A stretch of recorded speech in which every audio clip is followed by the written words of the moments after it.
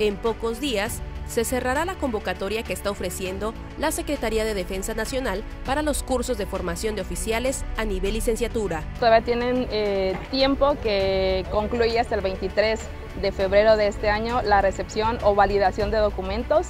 Gozar de buena salud, no tener antecedentes penales, cumplir la mayoría de edad y ser mexicano por nacimiento son los principales requisitos para ingresar a cualquiera de los 11 planteles militares. La Escuela Militar de Mantenimiento tiene especialistas de fuerza de mantenimiento de fuerza aérea, abastecimiento de material aéreo, de armamento aéreo y en electrónica de aviación.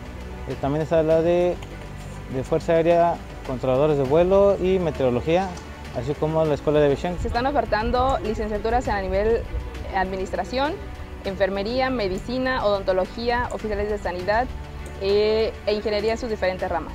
Entre 150 y 200 aspirantes acuden semanalmente al módulo de información ubicado al interior del campo militar en la colonia Bienestar Social y esperan que hayan más jóvenes interesados en ingresar al sistema educativo militar.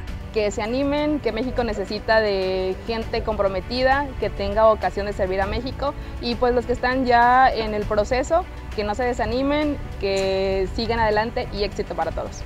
Para mayores informes, pueden ingresar a la página www.gov.mx diagonal sedena o llamar al teléfono 961 1212 120. Con imágenes de Christopher Canter, para Alerta Chiapas, Carolina Castillo.